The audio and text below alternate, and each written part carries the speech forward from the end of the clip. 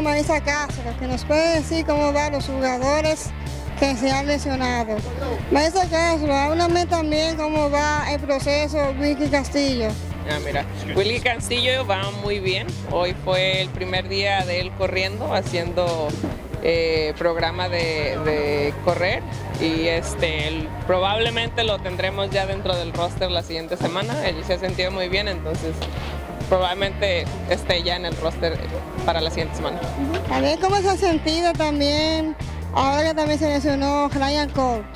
Ah, bueno, Ryan Court también va con un buen proceso. Este, ya hoy estuvo haciendo algo de defensa y él ha estado bateando, soltando.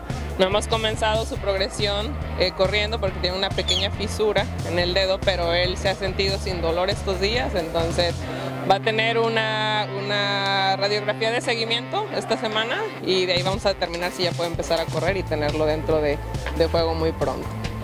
Ah, también que a, través de ese proceso que tuvieron también con Franchi Colero, lo que ha visto de Franchi sobre su salud.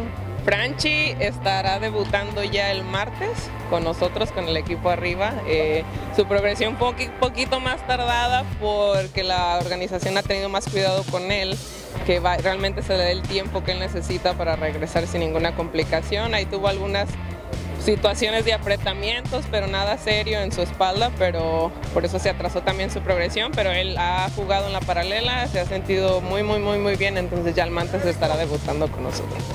¿Qué ciertos procesos ahora que a pesar de esos jugadores que se han lesionado, que están por ese momento ya de recuperación, qué es lo que tú ves de cada uno de ellos? Bueno, eh, van a ser de mucho aporte, la verdad, porque, bueno, Wilkin veterano, obviamente fue una baja importante pues porque es el capitán y aparte hace muy buen trabajo obviamente como receptor y realmente lo necesitamos de regreso. Y nada, Franchi, todos saben lo que Franchi ha aportado aquí en el escogido. Y igual Ryan Core, ¿no? Entonces este, creo que van a ser muy importantes reincorporándose ya al roster de la siguiente semana. Gracias por estar aquí con nosotros por estos momentos. Muchísimas gracias a ti.